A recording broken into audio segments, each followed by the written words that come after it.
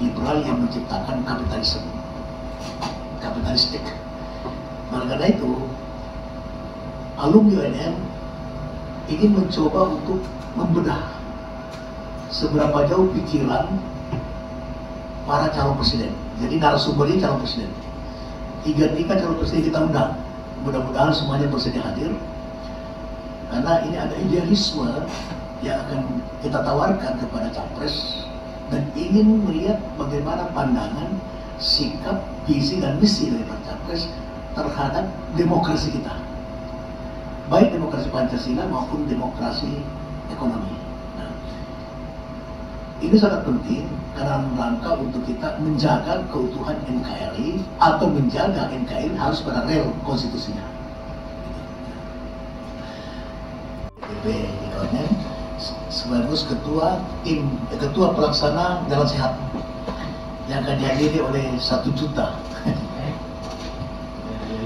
Kemudian Pak Daud eh, eh, wakil ketua eh, DPP eh, sekaligus ketua panitia pelaksana eh, Mubes eh, IKN ke-8. Kalau beliau Pak Sek ini sekaligus ketua penyelenggara. penyelenggara. Kemudian Pak Prof Ansar, ketua pelaksana eh, daripada Universitas Negeri Makassar masa bakti 2018 2023. Nah, karena ini adalah periode eh, masa bakti yang terakhir, tahun terakhir, maka kita menyelenggarakan Remi Akbar. Nah, Akbar ini berisikan antara lain adalah Selasihan Nasional, Jalan Santai, Malam Gembira atau reuninya itu sendiri, kemudian tenis nasional. Eh, kegiatan yang musibah nasional ini ada eh, suatu hal yang sangat spesifik, tapi dia eh, me- bisa mempertengkarkan berbagai disiplin ilmu. Kemudian Profesor Sohra, ya. kemudian eh,